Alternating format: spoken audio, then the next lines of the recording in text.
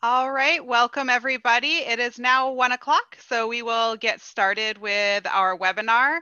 Thanks to everyone for taking the time to join us today. We are excited to have Ray Newman from University of Minnesota and Ryan Thum from Montana State University to share some information about their research with hybrid water milfoil. Um, I, I am sorry for anyone who might who had troubles joining. We had a, a Zoom security update and it required the use of a password. So it, it, it made um, either is making you enter a password or change your link to join. You should have gotten some updated emails with those links in them. So we'll, um, I'll talk for a little bit and hopefully that'll give time for anyone else who might be um, having troubles with that quick change um, time to join before Ray and Ryan start talking. I'll give a couple of housekeeping items. Um, first, my name is Megan Weber. I am an extension educator here at the University of Minnesota, um, and I'll be moderating today's webinar. Um, Pat Mulcahy is also here. He is helping out with any tech issues, um, Pat is a part of our program team. He's our program coordinator. If you need help, feel free to chat him in the chat box, or you can email him if you're having issues within Zoom. And his email is mulcahyp at umn.edu. Um, we will be recording this webinar. So you can find that on our YouTube channel once we've gotten a chance to do the closed captions on that. It takes usually about a week to get that up and going. Um, and all of you will be will remain on mute for the duration of the webinar. If you do have questions, you can use the chat. Um, you should be able to see that in the little bar below the little chat. It's circled on your screen right now. Um, go ahead and type your questions there. We'll be tracking them and we'll, we'll um, ask those to Ray and Ryan at the completion of their presentation. Finally, um, I'm sure you'll notice that there are subtitles showing up on the bottom of the screen. If uh, you would prefer to not see those, there should be a live transcript button on your bottom bar. And if you click that, there's an option to hide subtitles. So that will remove those from you. Um, so with that, I think that's all that I have for our housekeeping items. Um, so I'm going to turn the presentation over to uh, Ray. Ray is going to start out the chat and I'll let him introduce himself as, as he joins in. Okay, thank you, Megan. Let me see if I can.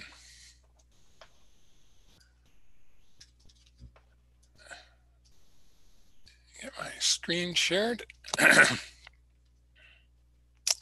so, hope that looks all right for everyone. And let's see here. Okay, so, um, right, I'm going to give you uh, sort of the latest on hybrid water milfoil in Minnesota. And I'll just uh, uh, mention for our team, um, I'm sort of leading the sampling here in Minnesota and our, our efforts assessing uh, populations. And Ryan Thum is a milfoil uh, genetics expert and he's at Montana State, so he does all the genetic analysis, and he's done extensive work in uh, Michigan and Wisconsin also. Uh, Jasmine Altawili is a graduate student from Water Resources on the project, and uh, she's contributed uh, some data analysis and slides and so on to our presentation. So, um, what Eurasian water milfoil uh, was introduced to North America from Eurasia in the 1940s. Uh, it first showed up in Minnesota in 1987 in uh, Lake Minnetonka. It forms these uh, extensive surface mats you can see here uh, that end up shading out uh, native plants and also makes it a real difficulty to end up getting through for boating and swimming. Eurasian water milfoil is present in more than 350 lakes in Minnesota, these black dots are the lakes that have known infestations of Eurasian water milfoil. And um, I should point out at this time that uh, this is invasive water milfoil, so it can, could can include pure Eurasian water milfoil or also hybrid water milfoil. So because it's so difficult to distinguish those, the DNR doesn't separate them out. So they're both considered invasive and end up being listed as uh, Eurasian water milfoil. Now there's a native water milfoil, northern water milfoil, that's widespread in Minnesota. Um, prior to the introduction of Eurasian water milfoil, it was probably the most often controlled and permitted aquatic plant in the state. But it can be outcompeted by Eurasian water milfoil, particularly in deeper water or poor water clarity conditions And actually, in a number of lakes, uh, northern water milfoil has disappeared since uh, Eurasian has invaded. So both Eurasian and northern are closely related. Actually, in the 1950s, northern water milfoil was considered a subspecies of Eurasian water milfoil. Both of these uh, primarily uh, reproduce by uh, vegetative or clonal uh, reproduction, so they can fragment, auto-fragment, you can break off pieces, they'll reroot and end up uh, uh, producing colonies, but they both do reproduce sexually. So they produce seeds that are viable and will end up starting new populations from seedlings. The Eurasian and Northern water milfoil can interbreed, and when they do, then they're forming hybrids. Uh, Interestingly, these hybrids also reproduce sexually. Uh, so hybrid can reproduce with another hybrid, or hybrid could also backcross with Eurasian or with uh, Northern, the other parental type. But hybrids also reproduce uh, vegetatively. So again, clonal spread is probably important uh, both within the lake uh, from uh, autofragmentation and so on, and then also among lakes uh, via trailers and birds and whatnot. It's difficult to distinguish these water milfoil taxa. Uh, the way that's most typically used are looking at leaflets or these pinnae, and you can see Eurasian water milfoil, the pinnae are uh, closely uh, spaced together, and there tend to be a lot of them, typically 12 to 20 leaflet pairs um, uh, on a side here. Uh, northern water milfoil has much more widely spaced pinnae, uh, typically 5 to 11 leaflet pairs. Hybrid ends up being intermediate. Uh, typically 10 to 13 leaflet pairs, but actually from 17, 7 to 19 leaflet pairs have been seen. So it's possible. So you can see with this, there's incredible overlap, and you really can't tell if you've got a plant what you've got unless you end up using genetic analysis. So uh, we've been using genetic analysis uh, now based on microsatellites to positively identify which taxon we're dealing with. So why should we worry about hybrid water milfoil? Um, hybrid could be more vigorous or invasive than uh, Eurasian water milfoil, might grow faster, be a better competitor. So that's a real concern. You can end up getting hybrid vigor. Hybrids could also be resistant to or tolerant of herbicides or biological control agents.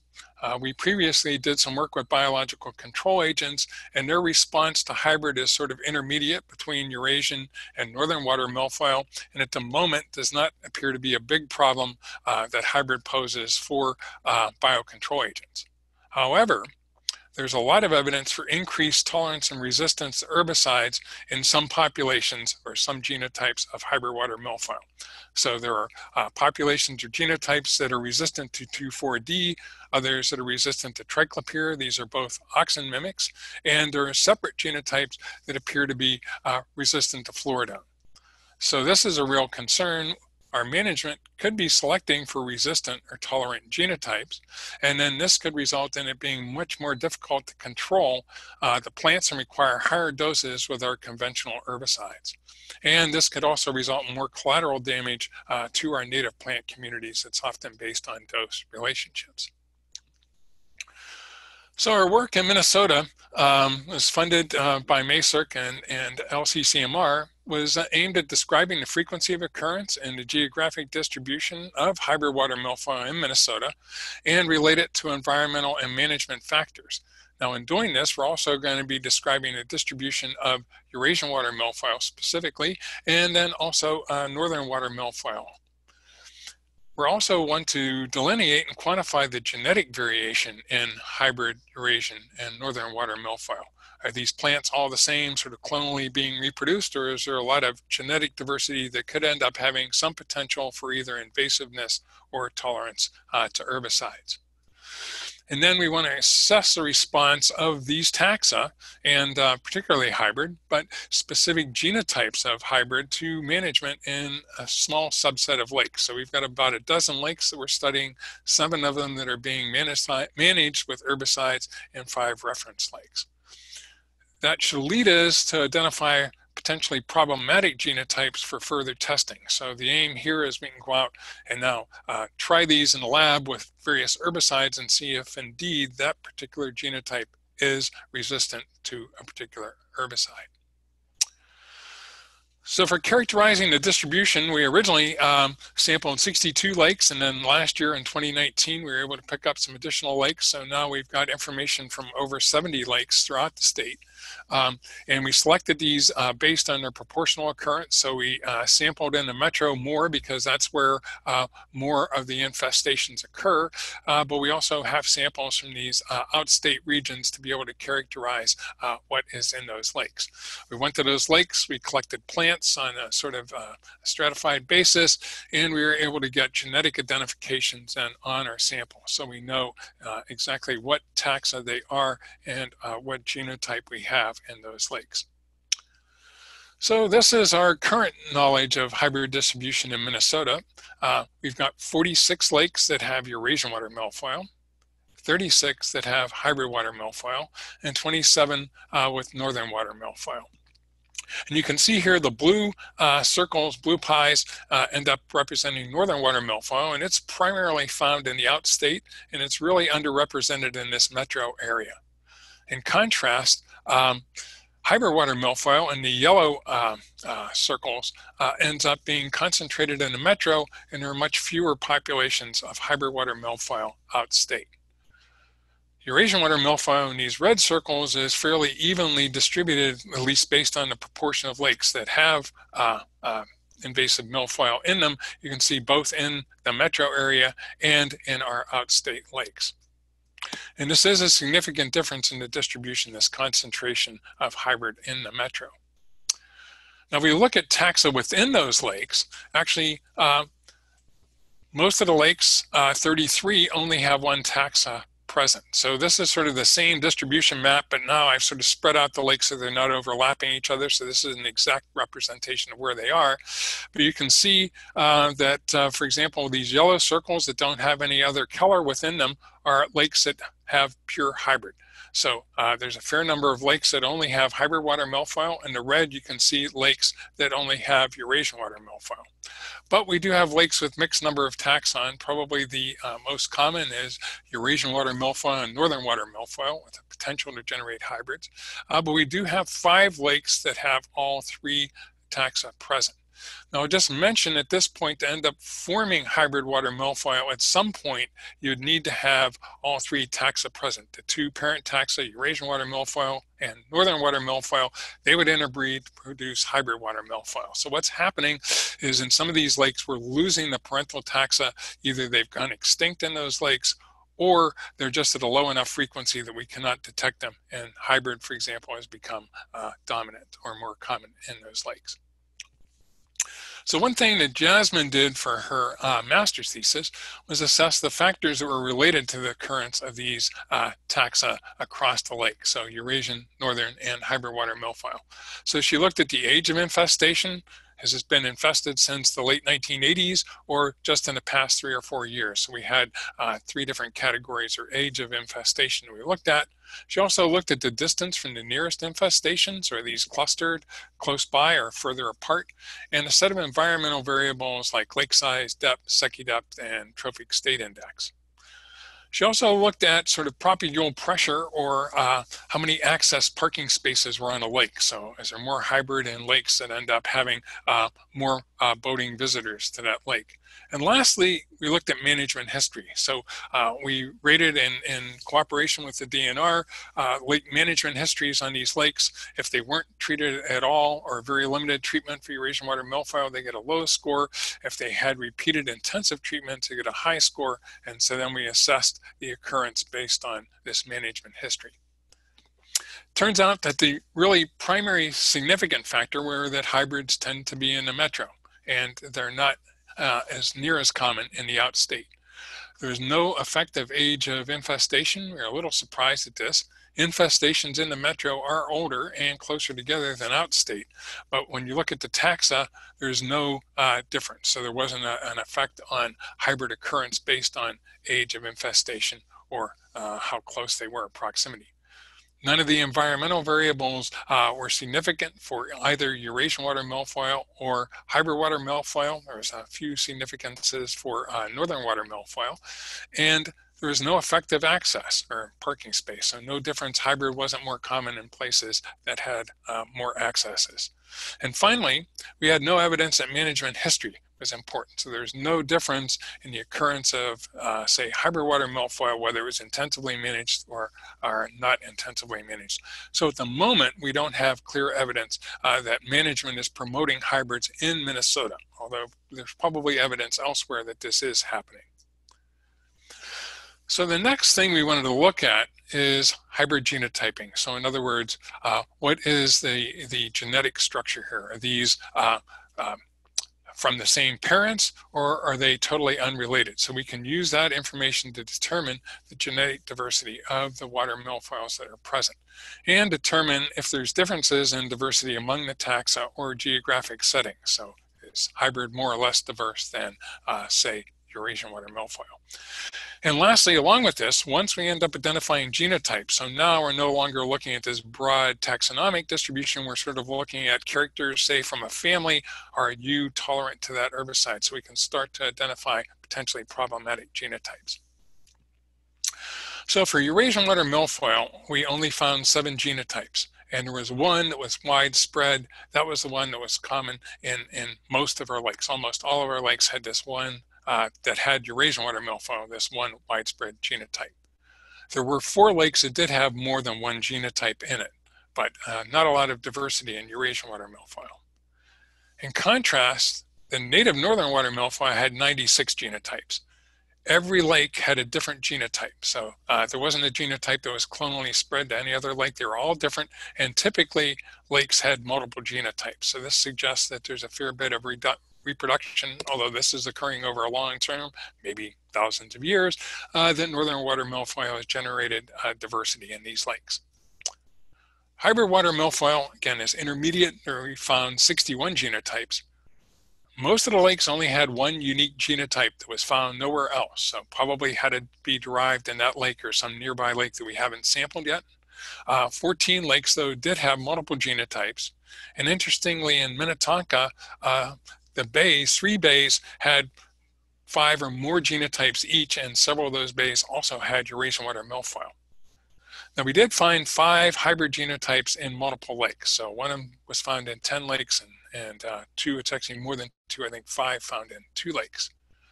So this is our genotype distribution of Eurasian water milfoil among lakes. And so you can see, ooh, sorry about that. You can see um, with these green um, circles, this is this widespread E1 genotype of Eurasian water milfoil. So it's widely spread across the state.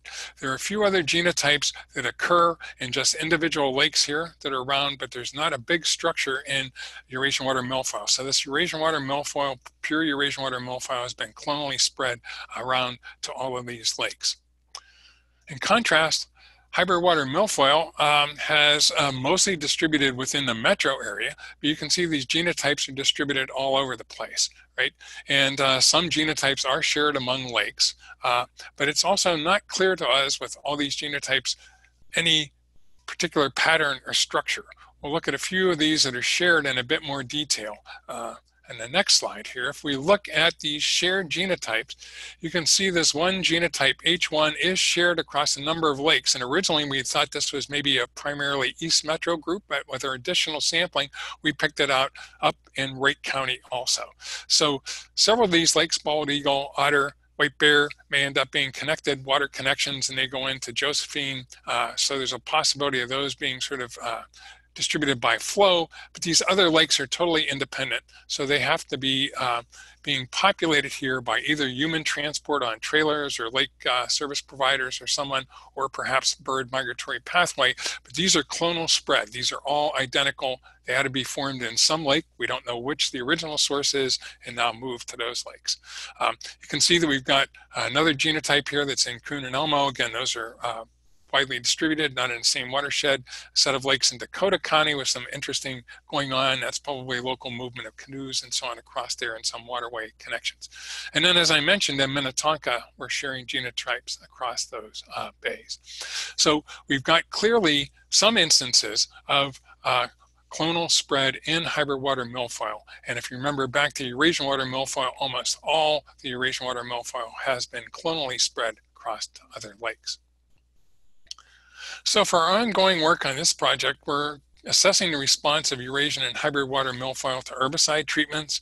Uh, with those studies, we're going to try to follow changes in populations over time so we get pre and post herbicide treatment distribution of genotypes within a lake, and then we can look at those changes over multiple years of treatment, and with the aim of identifying problematic genotypes.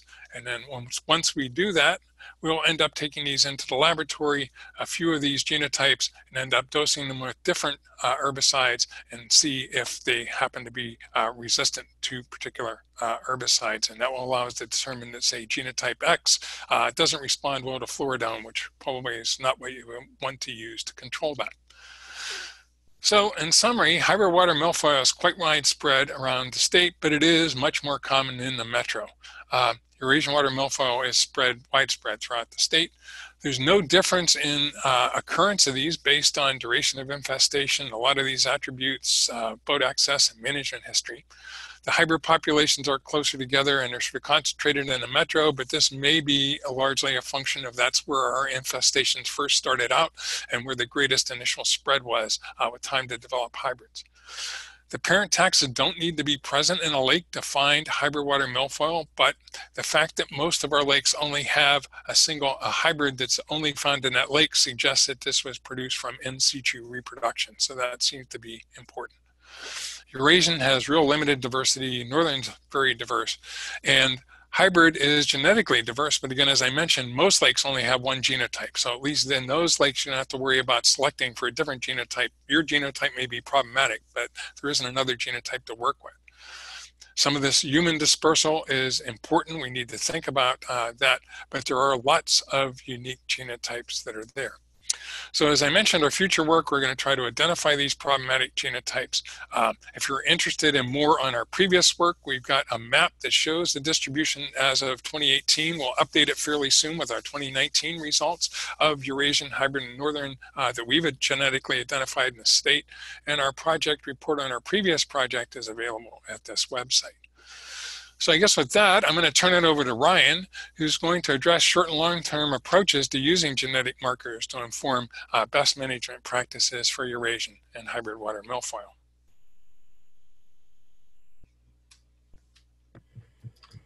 Okay, thanks, Ray. Um, let me share my screen here. Hopefully you're seeing what I'm seeing. Um, so with, with Ray's background, and I'll shut my video off here as well so we can save some bandwidth and spare you the spare you looking at me. See, how do I shut that off? I don't know. Um, so with that background from, from Ray, um, in summary of what we're doing in Minnesota, uh, I wanted to just take a step back and um, give a broader context for where we're going, what we're trying to accomplish in terms of using uh, genetic tools to help inform management uh, decisions and outcomes. One second here, I apologize for being a little slow on this.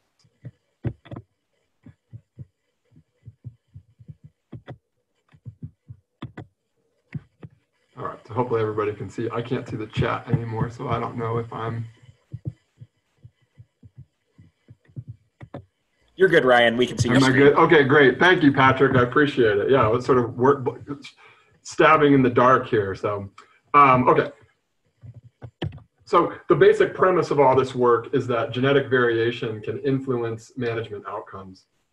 So we know that there's different strains of water milfoil out there, uh, and it stands to reason that some of those strains may grow and respond differently to different herbicides uh, from one another. And so in the worst cases, uh, an herbicide is ineffective in a particular lake because that lake is dominated by uh, strain, one or more strains of milfoil that are resistant to that particular herbicide. And so um, our, our, we basically posit that genetic information can therefore be used to predict management response of target populations and improve management outcomes. So right now we're sort of managing water milfoil populations blind to genetic diversity. And uh, we posit that if we understand something about that genetic diversity, we can improve management outcomes. So this is a very long um, research program. So I, I divide uh, the way we're approaching this problem into sort of short term. What I mean by that is what we, what we can do right away now and over the next several years. Um, and then a long-term approach, which is more of a sort of five to 10 plus year um, horizon, but that will really um, improve things a whole lot. So in the short term, what we're looking to do is build what we call a catalog of herbicide responses for prioritized genotypes. And I'll show you a lot more about what I mean about that. And then in the long term, we're looking to identify the actual genes involved in herbicide response so that we can develop genetic assays that are um, specifically on those genes. And so I'll, I'll, introduce you to that idea briefly at the end, and then I'll save, um, I'll, I'll, save any details for later on. So real quickly, just to illustrate the concept of a catalog, um, this is a, a, table that comes from some really nice work from a colleague of mine from a couple of years ago. Um, and what they did was they collected water milfoil from four different lakes, and you can, you might recognize this one at the top here.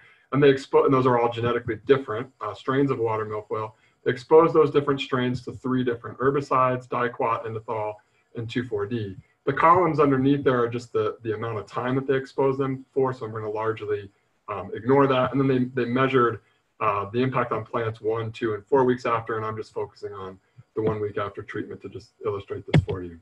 So I've highlighted the response to diquat for two different genotypes, and you can see that the response, so the numbers in here, I apologize, are percent um, growth of treated plants relative to untreated plants of the same genotype. So a value of 100 would mean that a treated, the treated genotype uh, grew just as well as the untreated genotype. And so for this particular herbicide, diquat, if we look at these two different strains of water milfoil, we see that one of them uh, responded very well to the diquat, that would be English Lake, and one didn't respond nearly as well, this Townline Lake up here if we look at 2,4-D, the pattern is switched. And so now uh, English Lake is relatively resistant to 2,4-D compared to the Townline Lake genotype uh, for, that, for that herbicide. And so you can imagine a catalog that has all these strains of water milfoil as rows, and then their response to herbicides as columns. And so that, that's what we mean by a catalog. So, so you could uh, theoretically uh, go to a new lake, identify the genotypes that are there, if they're in the catalog, you could then look and see how they respond to these different herbicides and inform management decisions that way. So uh, that's what we're doing in what I call the short term. It's, it's quite simple in concept. You just identify and prioritize genotypes or strains to characterize and then characterize them.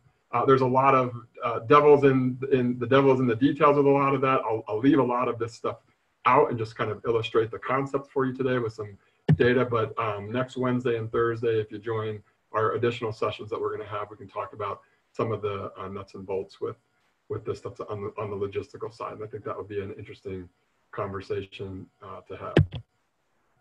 So what I'm going to do for the next several slides is, is illustrate for you how uh, we're going about identifying and prioritizing genotypes to characterize. The first way to do it is to just look and see which genotypes are most widespread across the landscape because those that are most widespread, if we characterize them, we have information about a collection of lakes that way.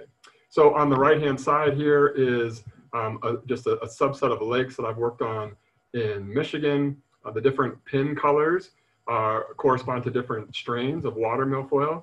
And uh, so lakes that have the same pin color share uh, the strain of water milfoil. And so I'll draw your attention to the one in pink here, which is in about 10 different lakes, and that's a pretty, pretty high fraction of the lakes um, that we surveyed. We surveyed 60 lakes or so.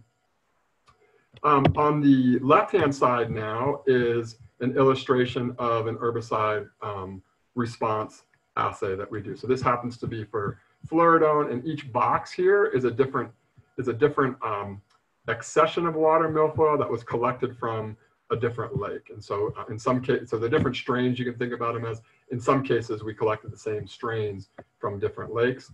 On the y-axis is the biomass of plants that we harvested at the end of the experiment.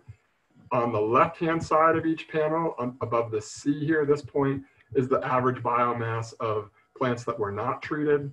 And then above this T here on the right-hand side is the average biomass of treated plants. And then we've just drawn a line connecting those so you can see how steep that line is. So generally, the steeper the line, uh, the more sensitive the genotype is to fluridone. So, and, and these, these, this experiment was done at six parts per billion fluridone for about two months, uh, which is which is a pretty typical um, fluridone treatment in uh, Michigan. They're all done at six parts per billion, and they're they're done for two to three months at a time. So um, I'll draw your attention to this pink shaded box. That is the strain that's in these 10 or so different lakes. Um, and this is a fluridone resistant genotype. So we really have very little impact of six parts per billion fluridone on this particular genotype. And so what that means is that when we find this genotype in different lakes, uh, I would argue that fluridone is not the best control tactic for that genotype. And in fact, we isolated that same strain from several other lakes, all these ones that say MG237, and in each case they were resistant to fluridone, which just kind of further proved the, the point that when we see the same genotype in different lakes, uh, we can expect it to respond the same way. Uh, every coin has two sides, so that's kind of the, the, the, the negative side of identifying herbicide resistance. Uh, but we can use this same approach to identify herbicide sensitive genotypes as well. And so this is the same figure on the left that I showed you before. This is a different set of genotypes now. And I'll draw your attention to these four lakes that have this uh, green pin, so indicating that they all have that same strain of water milfoil in those four lakes. And this is that strain right there. And so this strain is very sensitive to fluridone. These are the untreated plants and the biomass is significantly and substantially lower for treated plants. And so what that means is when we see this, this particular genotype in, uh, in a new lake, that, that we could be reasonably confident that fluridone would be a good um, control tactic in that lake. And so um, that's just populating sort of the fluridone um, column in this, in this uh, hypothetical um, catalog that we're making. Uh, but you know, we're, we're starting to build a catalog of genotypes that occur in multiple lakes. So then looking at that in Minnesota really briefly, I mean, Ray already showed these figures, so I won't go into them into too detail, but we, we have some ideas of genotypes that we would like to get that information for in Minnesota. So we have this very widespread Eurasian water milfoil, right? So if we know something about this strain, we know something about a lot of different lakes in Minnesota. Um, this particular hybrid genotype with the kind of bullseye um, icon here occurs in you know eight, nine, ten lakes, and so I think prioritizing that one makes sense. Um, and then prioritizing this one in Minnetonka makes sense as well. And I'll show you a little bit more uh, why that is in a second. So that's one way that we can prioritize genotypes just by collecting and harvesting genetic information from a variety of lakes across the state. Another way to do it is to follow individual lakes over time and get field estimates of how sensitive to particular herbicide treatments are um, for a particular genotype. So essentially using the actual operational herbicide treatment in the field as our experiment to get estimates of herbicide sensitivity. So this is um, North Arm Bay in Lake Minnetonka. This was treated, has been treated a number of times, but this was treated with an auxinic herbicide in uh, June in 2015. And we went out and did pre-treatment, um, a pre-treatment survey, uh, which would be typical to do for an herbicide treatment, mapping where the plants are and how abundant they are. But we added to that um, genetic information. So we identified different strains of water milfoil in North Arm Bay pre-treatment. And then we came back uh, post-treatment and did the same thing. And I'll draw your attention to, so the, the bars down here are just the relative frequencies of the different strains of water milfoil that were found pre and post treatment. And what we found in North Arm Bay in 2015 was that this, this yellow genotype here increased its relative, its relative frequency of occurrence pre versus post treatment. What that means is just that it, it had, there was a relatively lower effect estimated on that genotype or that strain than on the other strains present um, in the lake. And so there's a number of alternative explanations, alternative hypotheses to explain that pattern. But one logical hypothesis is that that particular strain was not as susceptible to that particular herbicide treatment. And so that would that would be an, a, a, a, signature that we would be looking for to prioritize a genotype um, for laboratory, more, more focused experimental laboratory study. Um, just really quickly to, to, to, compel you more on this particular genotype, I'll show you also the same kind of data from St. Albans Bay in 2015, which treated a very similar way. That genotype, that yellow genotype was at relatively low frequency pre-treatment uh, and it, the lake was dominated by actually that widespread Eurasian water milfoil genotype. That herbicide treatment worked really well, um, and there was hardly any water milfoil left over towards the late summer. Uh, but the, the very few plants that we did find in the lake uh, or in the bay afterwards were that yellow genotype. And so again, it's a small number of plants, right? The overall control was really good, but proportionally we see this yellow genotype has increased in, um, in frequency. And so that just is further um, further compels me to want to learn more about that particular genotype. And then the good news is, you know, we probably have some good idea that, that this particular strain is very sensitive to um, that auxinic herbicide treatment since we saw it essentially go away in that bay after treatment. So that's a second way we can prioritize genotypes for study because we can't study them all, or at least not all at once. The final way that I want to emphasize is just talking with um, managers that, that share their experiences. So um, I got a call at the end of uh, last summer from a manager in Michigan. I won't say who and I won't say what lake, but um, they were sort of, you know, kind of, you know, sort of speaking softly and saying, you know, I don't really want to tell you this, but I did this fluridone um, treatment and it really did not work very well at all. I mean, I, I know what they should look like. Um, and I was, and they usually work really well. And this one just did not go uh, well at all. And so he sent me some of the plants, um, and we, we, we then did some work on them and did a, uh, flirt, did a fluridone experiment in the lab. And this is that genotype right there collected from that lake. So again, treated, untreated plants, treated plants. And so fluridone, did we expect this to go down? Instead, it actually went up, which is interesting. We can talk about if anybody's curious about that. But um, actually grew better in the presence of fluridone. And so that's a, a, a, you know, a confirmation that that particular genotype is resistant to fluridone. And so as we see that genotype in other lakes, uh, again, we would make the, the argument that uh, fluridone would not be the best choice. And so I share this sort of vignette with you because, um, you know, it's the managers that are really out on the water and seeing all of this. I mean, you know, there's hundreds to thousands of lakes across the upper Midwest um, that people have some really good good sense on. And so sharing that information when people are comfortable doing it is really one of the best ways that we can find um, these, these kinds of um, problematic genotypes. So uh, it, it, really quick in summary for this, I'll, I'll just say, and we can take the, the, the, the tools that we already use to survey vegetation pre and post treatment. If we add genetic data collection to that, then we have this centralized repository of genetic information that we can use when we come across genotypes that we've seen before, we can use that information to directly influence lake management planning uh, or possibly permitting. Um, or if we have a genotype that we haven't seen before, uh, we can use some of these sort of field signatures that I presented to you to determine whether or not we want to add that one on a, a list for prioritization um, for characterizing. There are caveats and limitations to all of this. I'll save that for Q&A and for um, and for next week, just as a scientist, I feel like it's important that I uh, be clear uh, or at least recognize the caveats and limitations. So um, there's some in interesting discussion topics here for people that are interested. But um, in my last few seconds here, what I'll do is just talk to you about briefly the concept of this long-term um, strategy to predict herbicide response with molecular markers.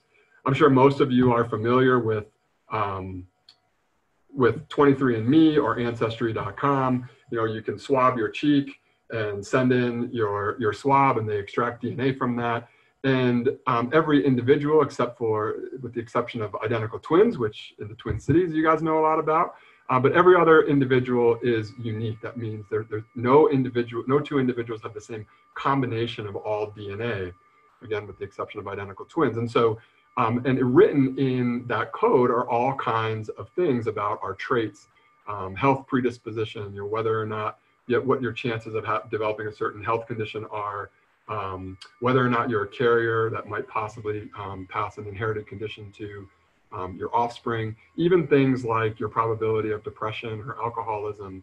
Um, those things are, there are all sort of signatures of that. They're not perfect signatures, but they're signatures of that um, in our DNA. And the Human Genome Project is really, over the last couple of decades, has really created a wealth of information um, where we can we can get genome information from individuals and then be able to predict a lot of things about those individuals again with some error um, but but with with with surprising accuracy and so the long-term approach is to be able to do that with specific um, specifically on herbicide response. And what that would do is would mean every time we see a new genotype, we wouldn't necessarily have to do an experiment on that genotype to characterize it.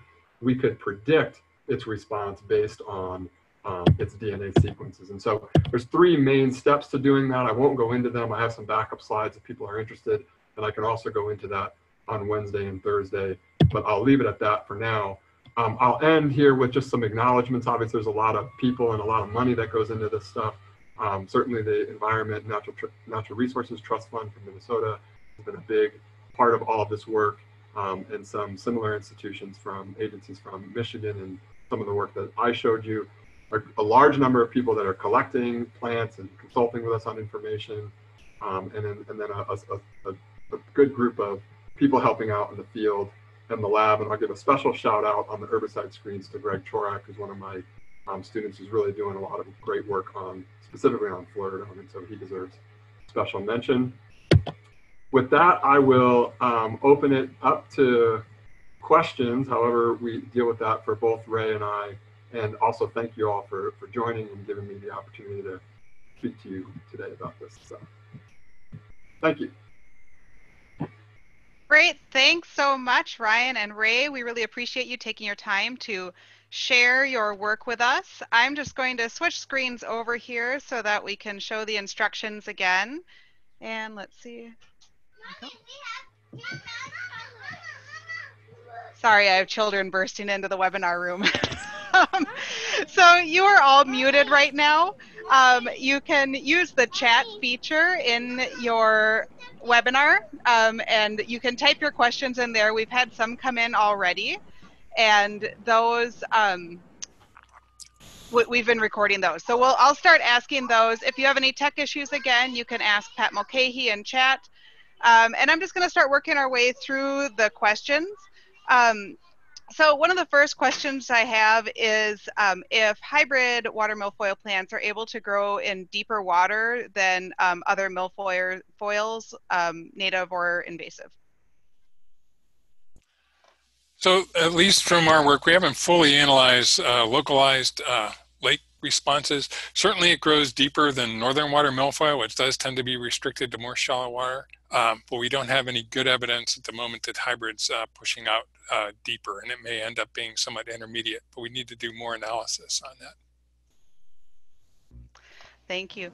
Um, and is there any evidence if certain hybrid genotypes um, might be able to uh, persist in environments outside of what might be a, a traditional range um, from their native range?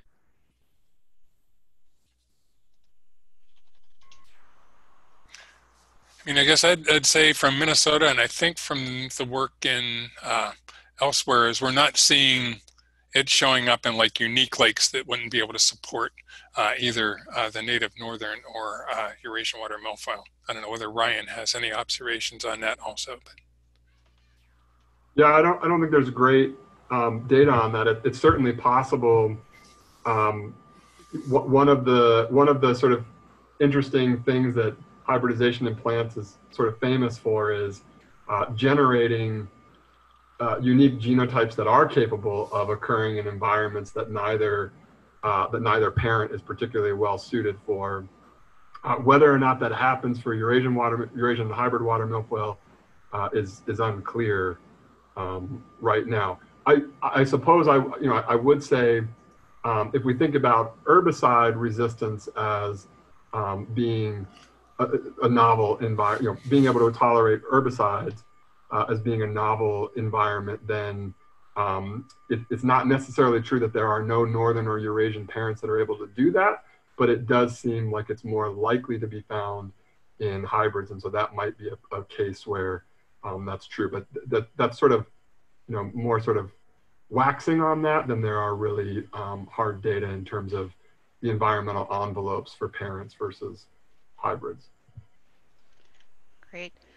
Um, and then do you have any uh, guidance for people who are doing early detection work on distinguishing between northern water milfoil and hybrid water milfoil, especially um, without, if, if, there's a way to do that without the genetic test or when you might suggest that they, um, they submit a sample for genetic testing to decide if it might be northern versus the hybrid? I, I, guess I'll take that one, Ray. Um, I, you know, I, I, I would say that genetic testing is the best way to, to do that. Ray showed the figure earlier. Um, there's a lot of overlap between hybrid morphology and parent morphology. And so um, if, if it was important in the lake to distinguish native northern from hybrid, and I suspect in most lakes that it would, um, it would be best to do genetic testing. And um, you could work with somebody like myself to, and, or, or, Ray to figure out sort of maybe the scope and scale of that testing. Um, certainly, it, you know, it, it's not easy for everybody to, to do, but through consultation, um, you know, you might get, um, you know, a, a, a good strategy for how to, to do that. Great. And uh, we have a few questions coming in now about testing and the availability of, of genetic testing. Do you have um, thoughts or guidance for those, um, especially for uh, lake managers who, who are looking to do to do treatments on um, where and how they might be able to get that testing done and and what they can do with that information once they they have the results? Ray, do you want to go first, or you want me to? Oh, I guess I'll let you chime in on that. Right? That's, um, that's one of the things we're going to be meeting about a bit, but. So yeah, I think I think we'll, be, we'll we we can talk a whole lot more about this Wednesday and Thursday. I'll, I'll share a few thoughts on it. Um, yeah, I mean, I, I think one should always do genetic testing, um, even if and I'm, I'm, I'm maybe I'm reading the chat on the side here too, so I don't know if I'm going to uh, address the exact question that came in uh, from Megan or if, if, I'm kind of bird walking around a little bit here. But you know, even even if you had a lake where the the water milfoil wasn't particularly problematic, I think it would still be good to know what it is that you have. We we do have um, cases in Michigan, for example, where um, a lake that has no management history and doesn't really have a, you know, it's not really a problem at the moment, it, that, that the particular strain in those lakes are an herbicide resistant strain. And so I think it would be useful to know uh, where those strains are because they are obviously a, a source of recolonization potentially for um, other lakes. And so we don't really know why a given genotype is problematic in this lake and not in that lake. Um, but I, I, would argue that you know, you would want to know just a, a, basic description of what you have, even if there was no immediate plans to, um, to, to manage it. And again, the sort of scale and scope of that testing, I think is something, you know, to work with, um, you know, a consultant on or, um, you know, or a, a, DNR specialist or somebody like Ray or myself. I think we can, you know, on a case by case basis, help people figure out, you know, what, what they what they might what their options might be. I'll just may jump in and mention too that um, in the past, like three or four or five years ago, um, you know the tests were sort of set up fairly quickly to just identify whether you have hybrid versus Eurasian sort of taxon identification. Um, but probably increasingly we're realizing that it's sort of like most useful to really know what genotype it is because just knowing whether it's hybrid versus Eurasian isn't really telling you a lot. So, you know, that's something and that sort of complicates the issue a bit more if we end up going into the genotyping uh, identification. But that's, I don't know, Ryan may, may not totally agree with me, but I think that's really where we get the, the useful information is knowing the genotype. No, I, I completely agree with you. thanks, thanks for clarifying that. Great. And is there information available about what the cost for the genetic testing is?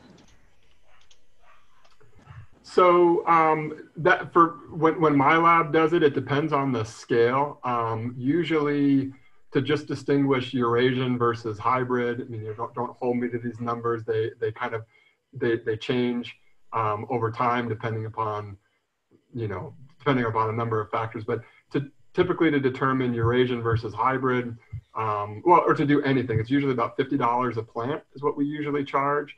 Um, if we're doing a large number of plants, that cost can go down because we have some economy of scale um, for larger numbers of samples. But I think a good rule of thumb is to, to plan on sort of $50 per sample.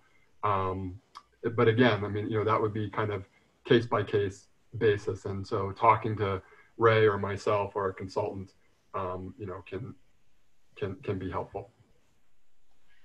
Great. Um, and I have one more testing question for now, and uh, uh, looking for some additional guidance on when to test, especially if it's a lake that has known a known Eurasian water milfoil population. Um, would you recommend testing um, just due to its presence, or would it be more beneficial to to only move towards testing if it seems as though it's more difficult to manage? Yeah, I, I think I think in both cases you would want to do testing. Um, I think the scale at which I would do testing would differ in those two cases. So um, if if it's a lake where the water milfoil doesn't seem to be a problem, but it's known to be, you know, Eurasian or hybrid water milfoil are strongly suspected, um, you know, probably I, I, would maybe do a smaller scale um, testing on that lake just to kind of, as Ray mentioned, is there what genotype is there um, to confirm it as Eurasian or hybrid. Um, and then, but if, if it was a problem, um, and there was going to be a, an, an actual management program, that's that's something where I would want to work with somebody to think about a, maybe a larger set, um, scale of testing. And again, that's something we could probably dive into more details into on Wednesday or Thursday through hypothetical examples. Um, but that's my general thoughts on it at the moment. Okay. Um, and I have a couple more questions then going back to some of the more biology and ecology sides of things. Um, are, are the hybrids um, just as successful in reproducing uh, sexually compared to with the northern water milfoil? Yeah, I mean, Ryan can probably address this also, but it, it, looks like the, the hybrid is fairly, I wouldn't say it's more successful than, than the native. So the native, again, there's all that diversity, although that's from a long time. I think probably the flip striking thing is that Eurasian doesn't seem to be real uh, effective at uh, reproducing sexually, but. Yeah, I would agree with that. I mean, you know, the, the, the data that we have are on sort of descriptions of diversity and northern water milfoil certainly has the most, the highest genetic diversity, which indicates that you know it that of the genotypes that are out there, there's a higher fraction of them that have been formed through, um, of the plants that are out there, a higher fraction of them that have been formed through sexual reproduction relative to hybrids or Eurasian water milfoil. Ray brings up a really good point, which is the time scale for that. So northern water milfoil is native to the continent, has been around for thousands of years, and so there's been a lot of time for diversity to build up, if you will. Whereas for hybrids, you know, there hasn't been nearly the same amount of time. So it's hard to say uh, really which are more prolific. I, I, I do think, and uh, you know, Dan, Dan Larkin's lab probably has some really good data on this.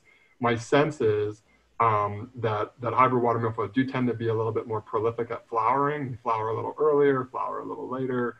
Um, and so there's probably a higher potential for sexual reproduction in them. Uh, but that said, they seem to be pre- predominantly, you know, most of the biomass in, in any given lake. Uh, it tends to be from asexual reproduction, which just is a, you know, just a, a sort of testament, if you will, to their uh, really good ability to, to grow indeterminately and vegetatively propagate. Thank you. Um, and uh, I see uh, we have one person who has noticed hy hybrid water milfoil has been growing later in the season um, than other lakes that have presumed Eurasian um, or hybrid water milfoil. Um, do you think that might be a difference in how that genotype behaves? And is there a way a way that that information can can get used in um, mapping or treatment planning?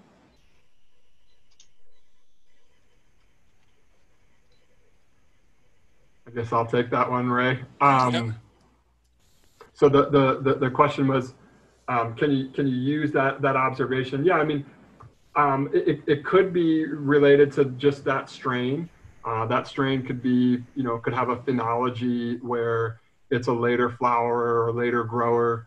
Um, it could also be that it's just generally a, a, a you know, that specific to that lake. Like it, it, could be a nice match with the particular lake environment um, and the phenology, or it could be that that genotype is just really has a, a broad range of conditions that it can tolerate, and so it may have a longer growing season um, than than most other genotypes. To, to really tease that apart, you'd have to you know either you'd have to do some comparisons between genotypes either in the lake um, or in the laboratory. Um, certainly, it, it is a trait flowering time or, or, or, you know, or length of growing season is a trait that you can map genetically if you have genotypes that vary in that. So let's say a late, late flower and an earlier flower, um, you could you could cross those two and then um, and do some genetic mapping for flowering time, let's say.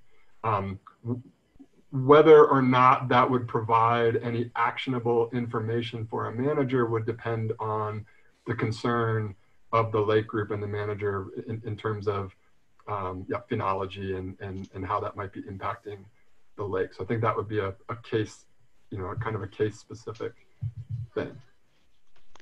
All right. And um, have you noticed if there's a difference in the genotypes that are present across states, for example, in Michigan versus in Minnesota? Yes, there are. Um, I can send a link out to a paper that uh, Ray and several co-authors and I have, have recently published. Some of the co-authors I see are on the on the uh, chat here, which is good.